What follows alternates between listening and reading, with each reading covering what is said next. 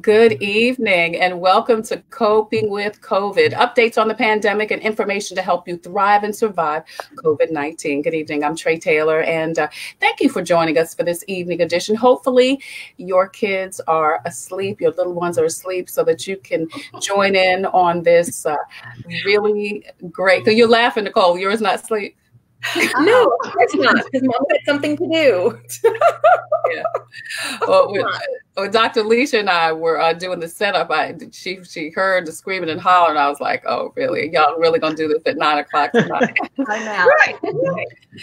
right. of course, but anyway, we are going to uh, attempt to have a child-free conversation about the children. What about the babies? You know, Nicole and I were talking uh, a couple of weeks ago about the behaviors of our children and uh, how they too are affected by what's going on in our world. And it's those little ones, particularly those who don't have the vocabulary to articulate what's going on with them. Those are the ones that are kind of brushed by the wayside. And we often will say, oh, you know, they're just acting out or terrible twos or whatever. Mm-hmm. But especially since we're going through this right now, little ones have feelings and thoughts and they react to things too. So tonight we've got two amazing um, uh, medical professionals that are going to share with us their area of expertise. Dr. Leesha Ellis Cox is a board certified child, adolescent, and adult psychologist. She's in uh, Birmingham, Alabama. Dr. Eboni Hollier is in Dallas, and she's a developmental and behavioral pediatrician. And we're joined again by our good friend, uh, Dr. Nicole Edwards, a general practitioner, family physician from right here in Columbia, South Carolina. Ladies, thank you so much for joining us on Coping with COVID. Thank you, you know, Oh, absolutely. I even got my little night voice. I'm realizing I've got my quiet storm voice going. and look, and I wanted to say this. Leesha looked like she she got her quiet storm stance on, doesn't she? Look at her. She ready, honey. She got it. Leesha is always laid back. Wait till y'all hear her voice. It'll just oh, I know right, voice, right, I'm telling right, you. right. She's supposed to be on radio. Maybe you, I don't know say you mentioned calling, but years. yeah, yeah. So Nicole, we were talking. So I'll tell you, I've got an um 18 month old and a four year old, and uh, for some odd reason, God thought that this was the time I needed these two babies. But I noticed with with with Jew, with the four year old, just and usually he's just a sweet a kind little boy, but he's trying me, you know. And I was thinking first, okay, it's just four years old. He's just, you know, uh, kind of pushing up, trying to be the man. And then you were sharing with me that your little ones were having some behaviors. Tell us about that. Oh, is Nicole frozen? Oh, I think she is. Oh, my goodness. well, until Nicole comes back to us, she had mentioned that um, hers were uh, bedwetting, going kind of reverting mm-hmm. back, bedwetting, and doing some things. And just, uh, just during the conversation, Dr. Eboni and Dr. Lee, are you back, Nicole? Oh, she's she's frozen again. Frozen again, yeah. Yeah, she came back a minute and it's frozen again. When she comes back, we'll we'll bring her into the conversation. Okay. So, Dr. Leesha and Dr. Eboni, is that um, common for children this age to kind of revert back or to sh- exhibit some behaviors during times like these? Absolutely. Absolutely. It's super common. Um, and I know, Dr. Leesha, you can kind of attest to this too. Um, just personally, I have a two and a half year old. He was completely potty trained during the day, and then he's been out of school for the past six weeks or so, wetting during the day, sleep regression, was sleeping through the night. Now he's up all this early morning awakening. So we definitely seen some regression both developmentally and behaviorally with him. But to your point, um, it's, it's very common for, for young kids for, for many reasons. During times of stress, like moving to a new house or having a new sibling, anything that causes a major change in their life can can result in some kind of regression in their development or behavior or both. Nicole, we're going to bring you back in uh, because you um, we lost you for a minute. Tell us about uh, your two. I mentioned that mm-hmm. uh, one of your children was starting back with bedwetting, and, and Dr. Eboni said the same thing with hers. He was totally potty trained, and then he reverted back. What's going on with your babies? Yeah, so uh, just all kinds of different um, symptoms. So we, we saw the bedwetting, which is absolutely, you know, and that one has been potty trained for years with no, that was our easy potty trainer, right? Uh-oh. And so it's amazing. Like, how did this happen? This type of regression, but even things like going back to the baby voice and mommy, and I'm like, where's coming from? Like wanting to be very affectionate. They always like to be, you know, held and hugged and touched, which is good, but it's been more so than usual. Um, so, and then I've, I've seen like a little mean streak in them too. Like, I'm like, this is not my usual babies. Like, what's going on? Um, even things like um, sleepwalking, which is really? not, oh wow, not like mine at all.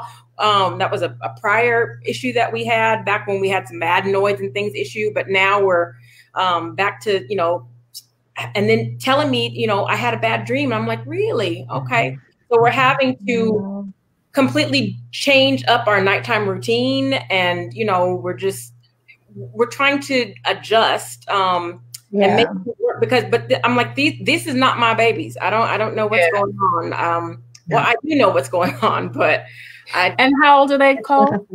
Five and seven. So it's, it's my five year old that was having some of the bedwetting. Now this week has been we've been a, a, week now good since we've had to change up routines and things. Um the little mean streaks that that hasn't quite gone away yet. Uh, and that's both I'm like really okay we're gonna have to put the the cooperation shirt back on or something but um yeah and then the nightmares that's that's been something new mm-hmm. so um and then almost uh, like when they tell me what they're dreaming about they're dreaming about like stuff like bad guys and i'm like really yeah just weird yeah. stuff and i'm like are you watching something i mean i know they're not we're we're with them right. watching stuff on the internet so i don't even know where they're getting all this from um, but it's it's yeah, it's we, we got to address it. We got to figure out what's going on. Um, yeah. I've reached out to a couple of um, of you know professionals who I know um, and said, hey, what can we do to to address this with the kids. Um, yeah. And you know, talking with them, like saying, "Are you scared? Are you anxious? Right, um, right. What this means? Um, but are you scared? Is something scaring you? Uh, tell me about these dreams." You know, I'm just trying to get them to talk out their feelings more. We've been doing a lot of um, feeling drawings. You know, making masks and um, you know, pick up the mask that you're feeling today, and you know, just different things. But we're just trying to um, adjust. I think a big thing too for them is um, that they haven't been able to articulate. They miss their friends, you know. Oh yeah, and they miss their they're they're in taekwondo and soccer and swim yeah. lessons. And all of these, and now they're not doing anything, you know, except for yep. playing with mommy and daddy in the backyard, and that's right, right. So it's all the things, you know. It's it's so yeah. Yeah. Dr. Leesha, it's so interesting because I know we are told as parents to give our children a schedule, you know, to make sure they have a schedule. And then when the schedule is off, it, it really affects them, you know. Um, it does. Yeah. I think it's just important to remember uh, two things. One, we are in crisis. And whether your children are able to articulate it or not, they pick up on things, especially the signals that we sometimes inadvertently give. They may see mm-hmm. us, you know, wringing hands or rubbing our head or hear our tone of voice changing. Um, we may seem a bit more irritated with them or short tempered, and mm. they pick up on those things. And their response isn't always going to be, Hey, what's wrong with you, mommy? Right, but it's right. going to be clingy, whiny, I can't yeah. sleep you know, I want mommy to sleep with me, being restless, um, the regression that we talked about with potty training. Um, we could see sleep changes, appetite changes, but there are a lot of things that they will express without using their words but we can mm-hmm. we know that there's something that's not right with him and i think this is a time to be as comforting and reassuring as possible so instead of timeouts we need to do time ins we need to love on each other and hug them and tell them it's going to be okay. But we're going to wash our hands and we can make songs out of hand washing. You know, we can sing our ABCs or count to 10 or 20, but we need to be reassuring and comforting as much as possible.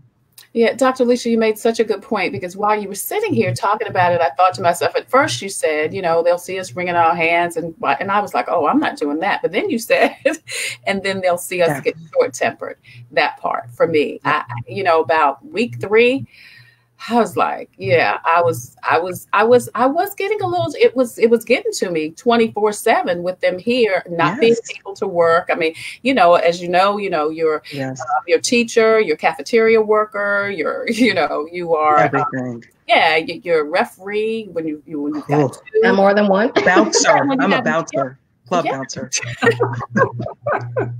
right. Um, so I do know there were times where I was I, I, could and I'm not a stressful kind of person. I'm really, you know, pretty easygoing, but mm-hmm. it was it was getting to me. It it was and, and it wasn't the situation, it was them. you know what I mean? It was it was just them getting to me and and I was tired, you know. So you make such a good. And and I think um, we know, Dr. Eboni, that how we react affects our children.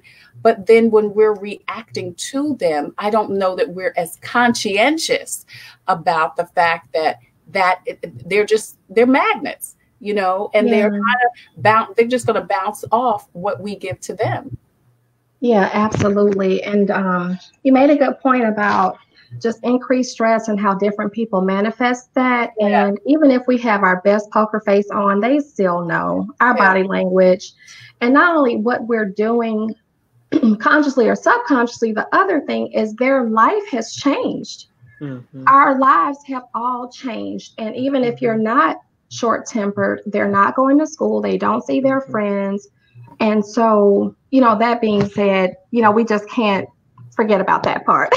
but they do mirror what we do. If we're anxious, they tend to be more anxious. Um, you know, like other big major crises like hurricanes and floods and things like that. What helps kids get through it and be resilient is how we respond. You know, right. making mm-hmm. sure that mm-hmm. they know that they're safe and secure, even though the world is falling apart all around us. We are their safety net. And so that's the best thing we can do. And just to echo what Dr. Leesha and Dr. Nicole said, and you too, we just got to give that extra hug, give that extra reassurance. Um, okay, just not too long, but today, my two year old fell out about everything. I don't. I don't want to use the potty. I don't want to eat lunch. But I'm like, you love to eat lunch. Like, what's going on? And so, honestly, literally, I'm just like, do you need some snuggles? That's what we call it. And so he's like, yeah, you know, oh. and so when we have these potty battles, you just got to reframe everything and just offer that extra layer of support. Do you need help? I'll help you, even though your child may not have needed help in that mm-hmm. area before. Mm-hmm. And people like would say, "Oh, you're spoiling them. You're coddling." Mm-hmm. They need it now. They, they need do. it. We need it. You know. yeah. Yeah, that's that's so I love that because and because Eboni, when you said that, I thought about what Dr. Leesha did say you don't need a timeout, you need a time in. And and there is a fine line between do you need to discipline this child for acting out, or do they just need extra assurance that at least in this world of uncertainty, I know my relationship with this person is certain you know? Yes, this, absolutely. is stable and this is true and this is sure regardless of whatever else goes on. Yeah and i just wanted to add like when your child may lash out or appear angry just under that layer is a kiddo who has tears or who needs an extra hug. So what we see is them falling out or talking back or whatever. So if we can kind of give ourselves a mommy time out and step back a yeah. little bit and remember this is because of this whole situation and not do a timeout as you mentioned and just say okay right under that layer if you can get past that i know some people are old school like you're not gonna i know but you know just offer that extra layer of support because right under there is somebody that's scared and that's not necessarily feeling super secure in everything that's happening and they can't articulate that and they can't right. really say that you know right. shoot some adults can't articulate their feelings so right. you, gotta, isn't that the truth yes yes uh, we're talking about five year olds some 55 year olds can't you know so how do we expect a three, four, five year old to dr leesha you want to say something well i was going to say uh, dr brene brown um, who does a lot of research um, mm-hmm. about shame and resilience and wholehearted living. She has a quote that's assume everyone is doing the best that they can. And I think mm-hmm. it's such a relevant way to think about our interactions yeah. with our children, our significant others, yes. our families, um, even ourselves sometimes, because again, we're all under duress. And at that moment, our typical go to coping strategies are just not as sufficient as they used to be. Yeah. And so yeah. I think that we need to extend grace and patience to everyone, especially our little ones who can't articulate their feelings, but also to ourselves as mommies, because we can beat ourselves up about losing oh, yeah. our tempers or oh, because you know we're feeling overwhelmed or because we complained about making breakfast lunch and dinner and 17 snacks in between you know we're feeling upset about about you know unrealistic expectations that we have for ourselves. Right, right. Um, and so i just i think that's such a critical point that the way that we are effective as parents starts with our ability to take care of ourselves emotionally. Oh yeah. you're right you're right. But we don't yeah, go ahead, Nicole. I, I, read this great book called Ditch the Mommy Guilt. I wonder where I got that from. Hey. oh, that Leesha's book? lady named Dr um, but I had to kind of re- refer back to it this week because, or last week or two weeks ago, whenever that was, because the first thing I thought of when um, my daughter had the accident was, what am I doing wrong? Like, right. what? I thought I did. I thought we were. And so it, it, hit me, and I had to check yeah. myself. Like, okay, let me put my feelings up to the door right now. This has nothing to do with me. Um, I'm gonna I'm gonna do that. I'm gonna ditch the mommy guilt, and I'm going to figure out what's going on with my child, right? Because it has nothing to do with me. And I think we do a lot that a lot. We take things personal, and it really yeah. has nothing to do with the what they say. I bet you think the song is about you. It's not. Yeah. it's not. I think I think another thing is I was thinking when we were talking before is that kids have a great ability to pick up on uh spirits and yes, about yes, on feelings, yes. even though they might not know what's going on, they can feel what's going on. So oh, they do. reminder for me too to sometimes turn off the TV, turn off the news, be careful what I'm speaking about on the phone yep. because they can yep. hear yep. everything that I'm saying. And if they can't hear it, or you know, if they don't hear um, the words, they feel what I'm feeling when I'm on the phone or when I'm talking to my mm-hmm. husband mm-hmm. or when I'm, you know, and so I have to be mm-hmm. careful to disconnect from everything else for a little bit and just really connect to myself, but also to them. Um, and you know, Ellen came to me. My son came to me uh, one time last week. He said, "Mommy, do you just need a hug?" And I'm like, mm-hmm. "Yeah, yes." like, always use a hug. Like you don't yeah. ever have to, come on, come on, hug. And he gave me the best hug. You know, so they they they're picking up on our mm-hmm. um on our feelings and our anxiety and, our energy. Mm-hmm. They do. They absolutely do. to check ourselves too. Mm-hmm. yeah. right. To help absolutely. them themselves. Yeah. Other oh. thing I just wanted to say, if I could, um, you know, sometimes it happens, even though we try our best to stay calm, even the best of us can just, you know, get upset or whatever. It's also to important to recognize and acknowledge that you were wrong. Mm. Like if you snap at oh, your yeah. little one to oh, say, yeah. I'm sorry, you know, that goes a long way. We all make mistakes. We all do the best we can. So just to articulate that, not just to be respectful of your child, but also to model to them that you know they should admit when they're wrong and to be able to apologize to others when they've hurt them. Yeah, that's so good. Aluchi Emmanuel says it's great information. Thank you so much for joining us. So, is that your friend, Dr. Eboni? You just laughed. Like, all of us. All of our friends. oh, okay, okay. and um, I, yeah, I would echo that. Like, um, it just it's very uh, it's it, you know we need to model appropriate coping strategies, healthy communication, and that also says, you know what, I can apologize. It doesn't mean I'm a bad person. I can say, you know what, mommy had a rough day mommy lost you know lost her temper mm-hmm. mommy is sorry um, mommy's going to work on it hug it out um, but that we you know it's okay to make mistakes we're human we yeah. apologize then we practice forgiveness which is another good mm-hmm. thing for our children to learn and we keep it moving because that's what right. love looks like you know love isn't always yeah. pretty right. sometimes we'll have some hiccups and Right. And and in this, like you said, this is this is a moment where you are teaching life skills.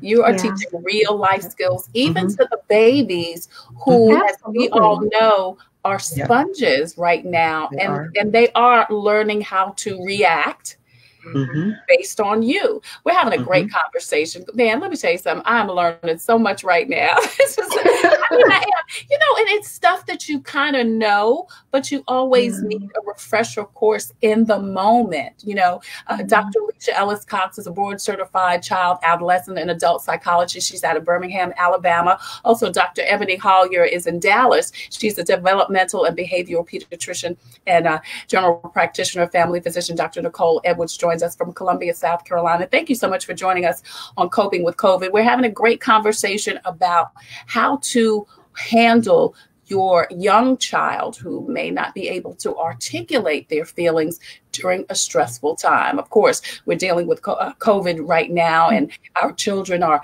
out of their regular routine. And so are we. So I love um, Dr. Leesha and Dr. Emily, the three of you, even Dr. Nicole, you say to thine own self be true first. We've got to check ourselves. We've got to take care of mm-hmm. ourselves. But how many times, as mothers, grandmothers, aunties, wh- whoever, we're so busy taking care of everybody mm-hmm. else. We don't yeah. take care of ourselves. And of course, that directly affects everything and everybody else. Absolutely. It does indeed. Yeah. So go ahead. You were going to say oh, something? Oh, I was going to say, yeah, I'm I'm a firm proponent of, of self care, and obviously there are no spa days. Um, yeah. I girl, guess unless you're in Georgia, but oh, girl, stop! And not, I think you're out to Atlanta again. and nobody should go. I'm just let me just say, stay stay put and don't go to that bastion of uh, yeah. But anyway, but Dr. Leesha, I'm going to tell you, I I I rediscovered the beauty of a bath. I'm a shower girl, and um, I've been bathing the kids. And one day, a couple weeks ago, that daggone bath water looked so good to me. and they were just having a ball with the suds. And when I put them to bed, I ran a bath, you know, had the lights down, had my little Gregory Porter on, and girl, let me tell you something. I have discovered the beauty of a daggone bath, you know, just I love it. And and every week, um, you know, I'm not saying I only take a bath on Sunday, but I'm just saying. Let's just say that. But I, it, it's just the because like you said you you got to find it where you can find it and it's different mm-hmm. things you know mm-hmm. it's, it's and for me it was just the emerging, just submerging my body in that water. And, you know, I think as we all know, as spiritual women, water is so spiritual. It's cleansing, it's, um, releasing. It's the whole concept of wade in the water, take me to the water. It's a, it's a, I don't know, you know, the baptism of the soul. So I, my goodness, and I just kept, you know, the water would get cold, and I just put more hot water in and put more hot water mm-hmm. in. So that for me, Dr. Leesha, has been my just, you know, that's been my release. That's been my spa yeah. day, so to speak.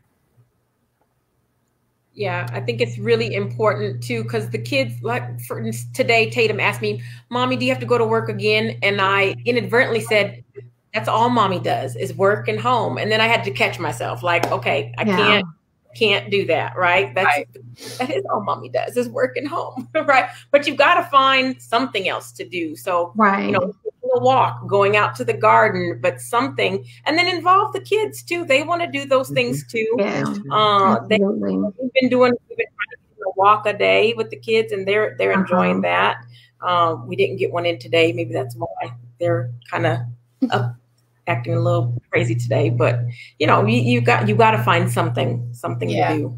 Yeah, and I've been, I've been cooking with my oldest. I have three children, five, uh, nine and 12, and my oldest is 12. So we've been making, now they're not healthy, but they sure are tasty. um, so we've made some garlic knots and some cinnamon twists. Oh, yeah. And then with my nine year old. Oh, I think we lost Dr. Leesha again. Um, yeah. Go ahead, Dr. Eboni. Um, you can pick up on yeah. Go. Oh, she's back. She's back. Oh, sorry. So yeah. I said, my nine year old, we go for a walk because he needs to get outside and get his blood flowing yeah. and get moving. And so that really helps him significantly and us because we get to mm-hmm. chat and talk mm-hmm. about our feelings. And it's really a good time for us to spend together. Yeah, I love that evening walk. We we we've been do we've been doing an evening walk. too. yeah. We'll after dinner we'll say okay let's go for a walk. You know sometimes the baby will get on her little bike and sometimes i'll put her in the yeah. stroller. Sometimes everybody's walking. Sometimes Jew will get on his bike you know but we're walking around the block and and just enjoying the outside and and just releasing and talking about the day. And um, i know they look forward to it and i look forward to it also you know? Absolutely so, Eboni, what are some things that um, you maybe are working on with your children and that you suggest to your patients to do uh, during this time? You know, Leesha said, uh, give yourself grace, which is one great tip. I love that. I got to get that book because we are so hard on ourselves. I know Absolutely. I am. We're hard on ourselves, mm-hmm. you know. And then the other thing, um, give yourself that break, that that spa time, that whatever you need to do, whether it's I don't know a glass of wine, a bath, or whatever it is you need to do, do what you need to do. Do take some time to exercise or whatever. Um, mm-hmm. but then what is it? And, and Leesha mentioned a couple of things to really kind of communicate, ways to communicate with your little ones. What are some suggestions you can give us also, Dr. Eboni? in terms of ways to communicate with them now or just generally? Okay, yeah. so I think uh, the most important thing is to always be very mindful to communicate in a manner that they can understand. I mean, I mean a couple of things by that. One, um, where their language level is. You know, so you said you have an 18 month old. Obviously, you've got to talk very differently to your 18 month old than your four year old. And so, you know, keeping that in mind. Um, and also changing the manner you speak depending on the situation. You know, right now we want to be super nurturing, super supportive, encouraging, and all of that. But then um, just to kind of think about uh, Gary Chapman's love languages. Yeah. You know, as adults, we have it. Kids have love languages too. Mm-hmm. So if you have one that's, you know, the hugger, then giving them that extra physical connection during the day or, you know, you know, acts of kindness or whatever it is for your child, being able to communicate to them in a way that they understand and in a way that they receive love is hugely important. Um, and then, just on a more general note, I just want to say for the little ones specifically, having some kind of structure and routine in their day is paramount um, because it helps them to feel safe and secure. Now, I know that people are working from home and got a bunch of stuff. So I'm not saying let's do this at 9:15, do this at 9:45. That's not what I mean. What I mean, but I, but what I mean is if you can do bedtime and a bedtime routine, for example, if you go for a walk every day after dinner, if there are certain key points during the day that your child can look forward to, then kind of having some of that consistency and routine in place is so important um, for your their overall well-being and their sense of security. Yeah, I want to mm-hmm. talk a little bit more about that, but first, want to say uh, thank you to Tracy for uh, watching. He, she says, "Hey docs, what useful information about how we can help our kids." Thank you so much for uh, watching. So you say have a schedule. And now, should you um, adhere to that schedule, even if the child says, "Well, maybe I don't want to do this this time," because we had to do that. We by week two, we had a schedule. We were up about seven, seven thirty. We'd eat breakfast. Um, we ended up um, making this game called Boom Shakalaka. It's, it's, it's a game. that sounds fun. I said. Boom Shakalaka to Jew, the, the four four year old, one day, and he had never heard. It's like, what is Boom Shakalaka? I said, well, it's like right on, you know. But yeah, so we started playing this, this Boom Shakalaka. So this is Boom, and this uh, um, elbow bump is Shakalaka. If he gets it, we do it with a splash card. So if he would get the color right, he'd get a Boom. If he got the shape right, he'd get a Shakalaka and then he'd get a, a, he'd get a pistachio or a grape or something, you know. So anyway, so we ended up doing boom shakalaka. So we do boom shakalaka at nine. Okay. We come back upstairs. Girl had to get creative. We had to we because we had to do these flashcards and they you know he he he was getting bored with them. So yeah. but anyway that came from the holy ghost. So anyway we we, we, come upstairs you know make up the bed um but and i found some uh, kids yoga because i've been wanting to do some yoga found mm-hmm, some kids mm-hmm. yoga. We do some kids yoga. Sometimes they were in it sometimes they wouldn't but i'd still do it because i needed it. And um and then by that time it was time for lunch. We do lunch. I'd give them a yeah. little you know, playtime, the baby would go down. Jewel would never take a nap. He never did. He, he's he's not taking a nap, but he took one at school. So anyway, so we had a schedule, but I noticed there were times when he was like, "Well, Tutu, I don't want to do boom shakalaka." Yeah. Sometimes yeah. I pushed him to do it because we needed to get those flashcards in, and sometimes I let him go. So, do you adhere to the schedule even if they don't want to do it? or do you just I let love, it kind of get it flexible? I think it's both. Um, and I love what you did. You realized that he was getting bored, and so you changed it up and you figured mm-hmm. out something that captured his interest better. That's huge. But what I think is that, especially with little ones, offering choices. Like if you okay. have to get through those flashcards, you can say, Would you like to do Boom Shakalaka or would you like to do Simon Says with the oh, flashcards like or whatever? Okay. Yeah. You know, so if you allow them choices, then you're giving them some control over the situation rather than you just dictating what right, it is. And right, so right. you can get the activity done but give them some choices perhaps you know um, and then say for instance you want to do some arts and crafts. Let them pick if they want to paint or if they want to use crayons. You know you're still going to get your artwork in but give them some leverage and some ability to make choices. Um, it's going to go a long way in those power struggles. And just the overall sense of just peace in the house everybody will have a better day. You're not fighting about everything. This is really a time to just extend grace um, pick your battles. If they're not running out into the street and going to get hit by a car, it's yeah. probably not that big of a deal right now. Right. Everybody has a different approach. That's mine right now. so. Yeah. So, Dr. Leesha, do you uh, uh, uh, advise that you talk to them about what is going on? I mean, you know, I ended up, you know, because I had to explain why isn't anything open. He was like, "Is is libraries not open? No, honey, we can't go to the library. Chuck E. Cheese, no, no, honey, we can't go there. You know, so we ended up talking about you know people are getting sick it's a virus and uh, we're in because you know, and you can't go close to people. This is, you know, the whole mask thing. So I had to explain it to him. Is is that do you suggest telling the kids exactly what's going on? I guess like Eboni said, in a way that they can understand it. I do think it's important to use developmentally appropriate language and to talk to them and not avoid difficult conversations.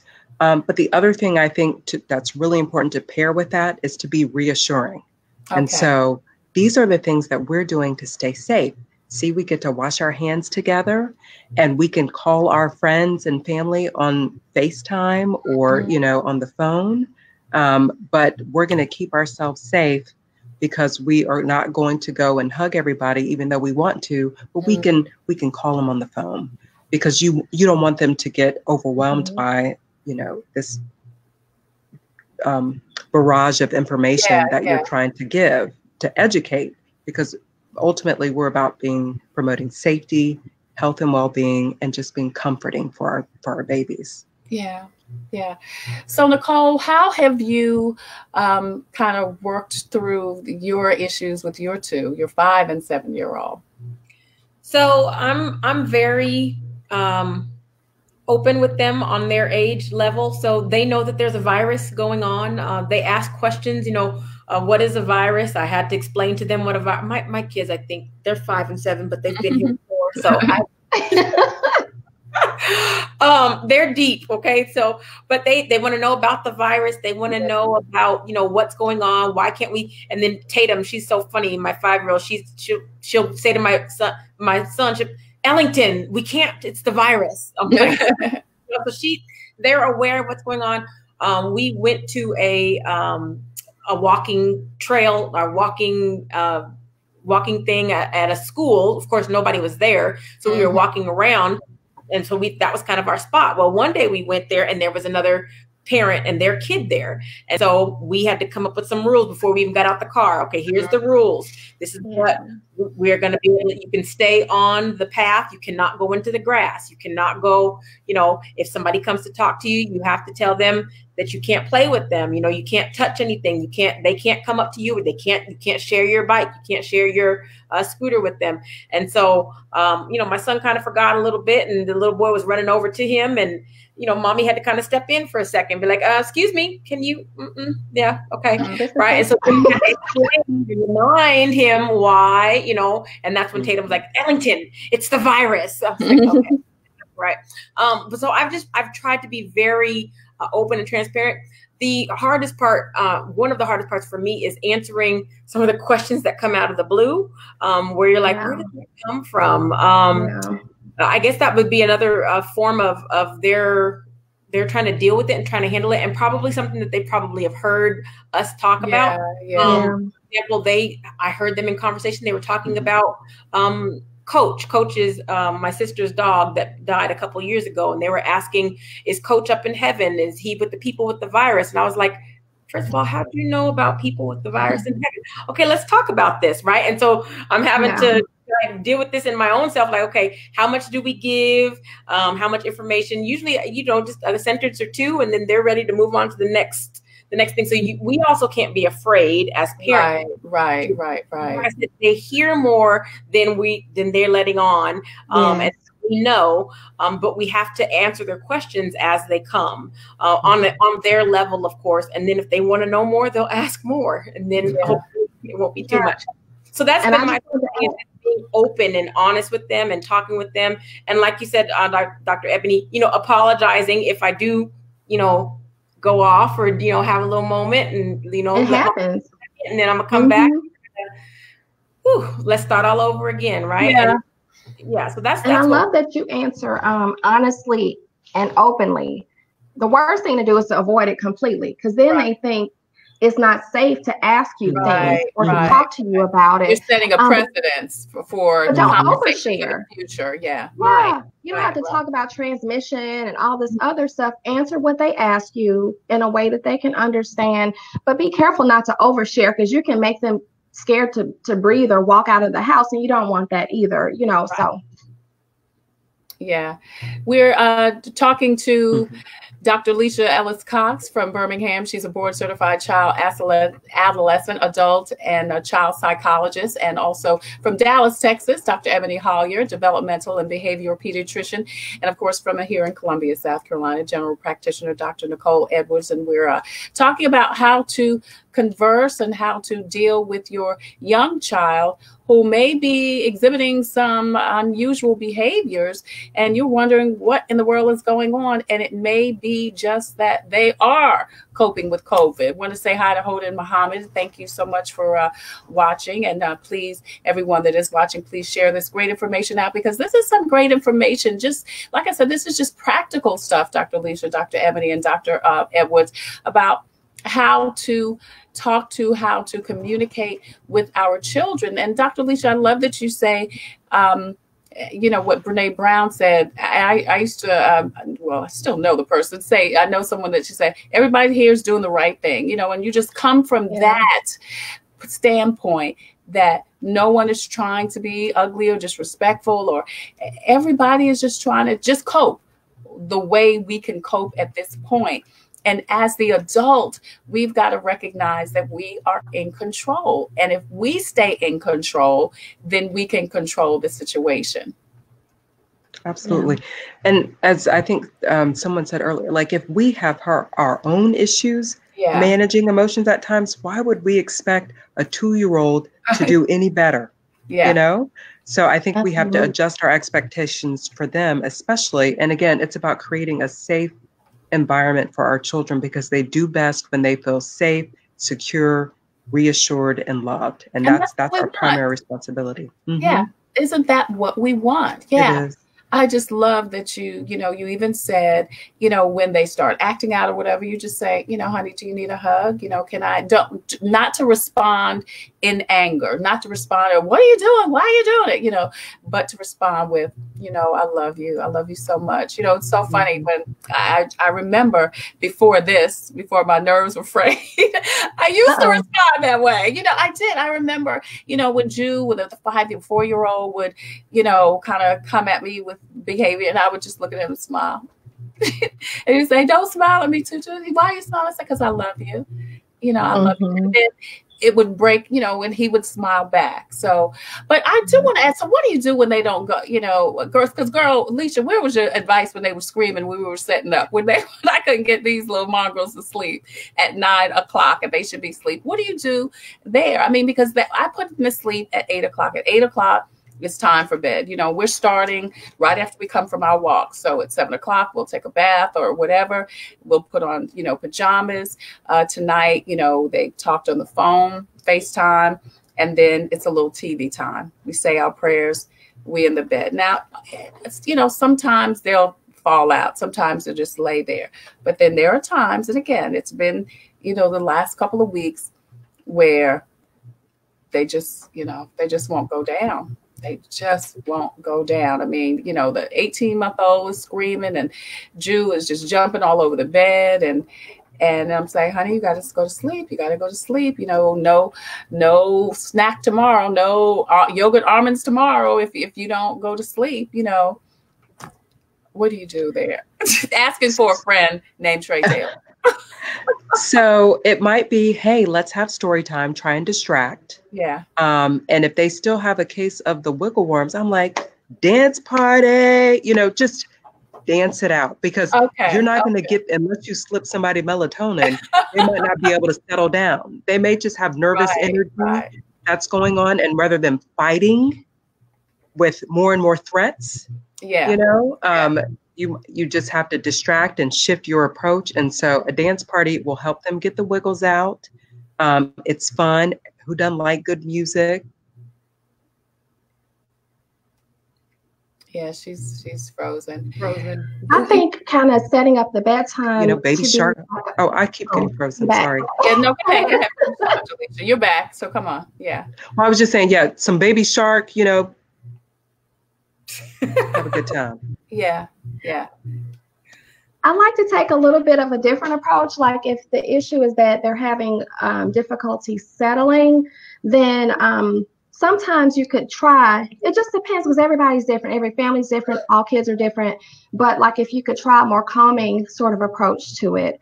Um, for example, you have your um, walk after dinner that you guys are having.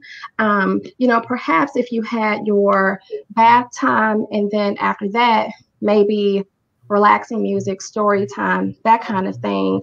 Um, when kids have trouble sleeping, I often ask that parents don't roughhouse, don't offer screen time like an hour before bed, maybe just soft music. Dancing is good, but I would do just the audio version um, because sometimes just the blue lights can just activate their little brains and shift their melatonin and make it harder to get to sleep.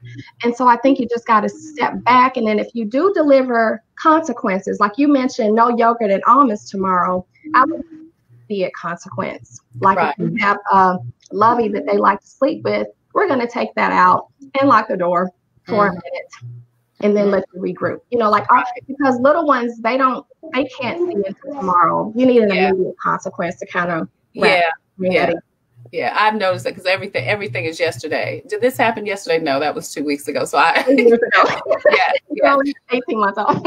But but you know, Dr. Emily, you make a good point because I I learned a couple of weeks ago, but we cannot watch Power Rangers before he Juju goes to bed because that's just too much stimuli. That is just too much stimuli. You know. I think we also have to realize too in all of this is that um, these are still humans, right? And just like we react to the foods that we eat, we react to activity, we react to um, blue lights, like Dr. Eboni was just talking about. So right now, with our schedules being off and everybody's kind of off, uh, we have to go with mm-hmm. grace as well and remember that their schedules are uh, can also be off but we also kids are getting right now they're getting a lot of screen time because we are doing more FaceTime because we are doing mm-hmm. more YouTube and Baby Shark and so they're getting all of those waves and all of that blue light and we have to remember that that can also affect their brain waves and that can also Melatonin. their um their, you know their serotonin levels and their dopamine levels and so they might be on go because of all of the screen time. I mean you know usually as pediatricians and as family doctors we we've been teaching parents to limit our kids screen time. But over the past months to to four to six weeks nobody's limiting screen time right? Everybody Right. we're all in like almost you know 18 hours out of a day. Why? Because we're working on a screen. We're we're socially right. not distant right on a screen. So we're mm-hmm. doing everything on a screen to remember how that can also affect kids and their minds. And so we have to remember that. So sometimes we also might need a little bit maybe we do maybe need a little melatonin or something to kind of tone things down a little supplement. We also have to make sure that we're you know because they're eating a lot more junk food because we're all home and we're all eating a lot more junk food how that also affects our bodies as well right? Um, are they are we getting an are they hydrated enough? Um, mm-hmm. so you know, yes the bedwetting and things could be from anxiety but could it also be from some dehydration? Because they're drinking more gatorade or soda during the day and, and, not as much water as they used to be drinking. So we have to think yeah. of things physiologically too, because these are, I mean, they're children, but they're humans, right? And yeah, so we have yeah. to also think about how all of this is affecting their their their bodies and their makeup. Yeah, Dr. Leesha Ellis Cox is with us. She's a board certified child, adolescent, and adult psychologist in Birmingham. Dr. Eboni Holland is in Houston, not Dallas. I just moved her. Developmental and behavioral pediatrician. And uh, Dr. Nicole Edwards is uh, here in Columbia, South Carolina. Ladies, we have a question from Amina Moha. And uh, she says, uh, her son has been so sad for not being able to play with his friends and not going to school. He's been asking questions regarding the end of the world. He believes things will never be the same. She wants to know uh, her son is eight. How do she, does she answer him? She says she's struggling with this. She said she can't seem to ease his feelings at all. He keeps wondering why why we're going through this. Amina, thank you so much for your question, ladies. First question is I wonder how old is her son? Eight. He's eight years old. Eight years old. Okay. So at that age, you know, they really know a lot more than we probably give them credit for. And I think you guys have kids closer to this age, so y'all definitely jump in. But I think just being honest and just saying that we're not exactly sure when all of this will end because we are not sure. So I think it's important to be honest because, you know, even though we try to limit screen time, kids are still exposed to media. They're still talking to family and friends, you know, virtually. Um, and so just being honest, but also, again, just not oversharing, being careful not to be too glum and scaring um, the child, but definitely just keep reassuring, keep offering those extra hugs, keep the lines of communication open so that he will continue to share his fears with you and you just explain um, in a way that he can understand and keep kind of coming back to it and just being there. And for that particular child, and every child, really, I would be sure to increase one on one time where you can just have time to sit and just hang out, listen to music, whatever he would like to do. And then you can hear more about exactly what he's feeling and then seeing how he's progressing as you work through it together with him. Yeah, thank you, Eboni. Dr. Leesha? I think it's important to validate his feelings um, that yeah. there is so much that's going on and it, it is frustrating and sometimes it is scary um, with what's happening. And I'm so glad that you, you know, felt comfortable talking to mommy about this. Yeah. I think that's really important. Um, and to Dr. Eboni's point that there are a lot of things that that we don't know, but I think there are some things that we can do, and that's we can, you know, write letters to our friends, we can call our friends, and let's think about some of the things that we're able to do. So, mm-hmm. you know what? Mm-hmm. We can go outside and let's have some outside time, or you all can come up with some other things that he likes to do that you can pick to do together um, to help try and normalize um, some of what's going on. Um, and then, as always, just be reassuring and talking about we're just trying to be safe and this will end. We don't know when, but it's going to end. And um, we'll be able to hopefully see our friends, um, you know, soon. Yeah. Dr. Leesha Ellis Cox, uh, Dr. Eboni Hollier, thank you so much. Amina, what are you saying to your son? Um, thank you so much for the, for the question. I'd love to know what you're communicating with him so that maybe these ladies can kind of help you. Um, uh, you know, alter that conversation. I hear my four year old in the background, so I'm sure he'll come upstairs in a minute. So, you light skin curly head boy, you know what's going on. We'll just say hi. say hi. So, just, so anyway, so um, so yeah, that that's interesting. Yeah, just uh, you know, a lot of kids are you know feeling sad too and wondering what's going on and and don't understand. He's eight years old, so um, you guys say just the same thing. Just kind of reassure him that everything's okay. Um, and and I love that both of you say, you know, the world may be changing, but I still love you, and uh, everything is fine where we are. So yeah and and sometimes uh, it maybe reframing instead of saying that everything is okay we can be you know even bringing it back to a level of they are. So when my kids were asking me what was going on i was like do you remember that time that you were sick? Do you remember how bad you felt when you were sick? Right? So there's a lot of people in the world right now that are feeling sick. And so by staying at home we're going to try our best to make sure that we don't make other people sick and that those people don't make other people sick. So you got to kind of yeah. break it down on something that they can understand and that they can yeah. comprehend. Oh, then it's like, oh yeah, so people are getting sick. Okay, so if we stay home, then we won't make people sick. Okay, I get it, right? And so that's how we're kind of okay. We're staying home right now because we don't want people to get sick. No, we can't go see CC and Grandpa because we don't want. Yeah them germs and we don't want them to get sick, right? So maybe yeah. we do something different. So like this past weekend, we did um, a drive by. We went we dropped off some some uh, like a little gift package and then we sat outside in the car and we waved from the car um, and we just did kind of a drive by so that they could still see them um, it was different from facetime you know at least they were seeing them um, but we were you know we were in the car they were still on the porch and so it was different though but just finding new ways of um, reshaping things. And I've seen that, um, for example, tomorrow is my my daughter's best friend's birthday. We're doing a drive by um, birthday parade for her. You know, everybody's making signs, and and the, and we're gonna just drive by, and everybody's gonna, you know, play happy birthday music. And so, just trying to find a new normal, but making making it understandable for uh, an eight year old. Mm-hmm. Right. Mm-hmm. I mean, it says that she has been uh, telling him that uh, God is in control and they'll get through this together. She's been praying That's and perfect. Yeah. That's a yeah. perfect response. And and you and know, Miss mm-hmm. Amina, let let your son pray, and you will be yes. so. I've listened yes. to. You'll learn a lot.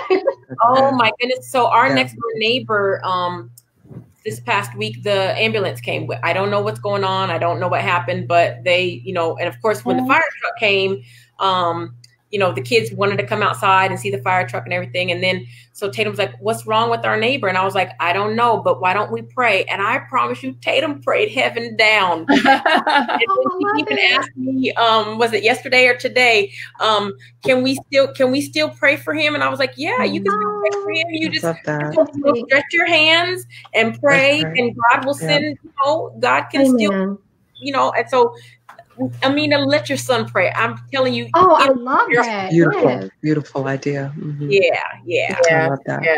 That is beautiful. That is beautiful. Amina says, Thank you for talking with me and making me understand what to do. She said she appreciates you ladies so much. Thank you, Amina, for uh, trusting these ladies to even share that information. You know, that's what we're that's what people are here for. She said she'll definitely let him lead the prayers. Yeah.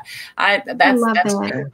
Yeah, I love that too. We do that. We um, pray. Um, you know, of course, we you know we pray at night. We pray in the morning, and uh, mm-hmm. and Ju- Julius, who is as y'all saw his little curly hair, he, he uh, you know he he leads the prayer for us. He leads wow. grace and then he'll either lead the morning prayer or, or the evening prayer so and again that's just also teaching them and and, and um, nurturing their relationship, their spiritual relationship. Right. She said, I mean, says it's a great, great idea. Jen Mitchell, thank you so much for joining us. She said, he says, uh, train up a child in the way that yeah. he should go. So Hoda mm-hmm. Muhammad says, uh, hello to everyone once again. Hi, hi to uh, Dr. Peace. Dr. Peace, thank you for joining us once again. She was with us last week on a, a uh, great mm-hmm. session on uh, how to um, to self isolate. So the, the TV is off. Okay. You're supposed to be asleep. That's why the TV's off. That's why the TV's off. It is. What time is it? It's 10 o'clock. You need to come see what you were up to. I know. you say hi to everybody? Hi. hi. He's like, I'm making my cameo. It's Spolioli. no, no. So we're talking to Dr. Ellis Cox, a board certified child, adolescent, and adult psychologist, psychiatrist in Birmingham. In uh, Houston, Dr. Eboni Hollier is with us, developmental and behavioral pediatrician and a general practitioner, family physician in Columbia, South Carolina. Dr. Nicole Edwards has joined us, and uh, we've been having a great conversation on. Uh, oh, thank you, Amina. He's okay. she says, Amina says, You're such a cutie. So thank you. Yes, he is. he I. so um, we've been having a great conversation on how to talk to your children uh, during stressful times and you know not only now during this covid i mean you know there could be an illness or a death in the family their uh, financial situations whatever the situation is i mean life is going to happen and when it happens uh, mm-hmm. i think these ladies mm-hmm. are saying you know, first we got to get ourselves together as the adult uh, because our yes. emotional, spiritual, our energy, as Nicole said, actually affects mm-hmm. affects yeah. our children because they pick up on that. In closing, um, uh, Dr. Leesha, can uh, can you share some information with us in closing? Um, I would just say this is a difficult time for. oh everyone, but to lose hope. Oh, oh did I? Oh, I no, you're back. I'm sorry. okay. I said just it's a difficult time for everyone, but stay encouraged and know that you are doing your best as a mommy, and um, that as long as you are working on trying to make sure that you yourself are doing okay, then it allows you to be present for your children. But if you need help, whether for yourself or you feel like your child needs help, feel free to reach out to your pediatrician or your family mm-hmm. practice physician or a therapist or a psychiatrist. Don't be afraid to get help because this is for the long haul. We're trying to help us to cope and manage for the days, months, and years to come. And there's courage when you reach out and say, you know what, I don't have this all together and right. I need to get some help. Right. Leesha, if people want to contact you, how can they do that? So you can follow me on Facebook um, at my Dr. Leesha page. Um, you can email me at hello at drleesha.com and I'm on IG as well. And I have a, a blog at drleesha.com. Tell us about your book. So I've actually written two books. The first is Ditch the Mommy Guilt, a blueprint for the modern mommy, because as mamas, we succumb to the pressures yeah. of guilt if we're not careful. Yeah. So it gives you know, very easy to apply strategies to help you manage mommy guilt.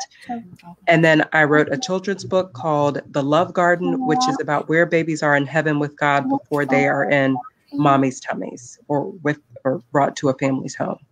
Great. So great. our purpose, um, that God has a purpose for our lives even before we're born. Wow, love that, love that. And how can people get um, access to those uh, publications? Um, my website, drleesha.com, um, has the links for both of those books. Okay, awesome. And Dr. Eboni Hollier, uh, closing statements and how people can contact you, please. Sure, of course. Um, I think it's just so important to just be kind and gentle yeah. with yourself and with your children.